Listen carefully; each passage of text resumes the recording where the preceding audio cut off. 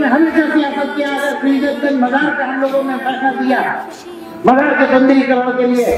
तो बिजलीपुर देवी को और बिजलीपुर मंदिर को जो है, हमने रोक दिया। अगर रामुल्ला शाह बाबा के मजार को पैसा दिया तो देवी पाटन मंदिर को भी सिंधिकरण का पैसा दिया।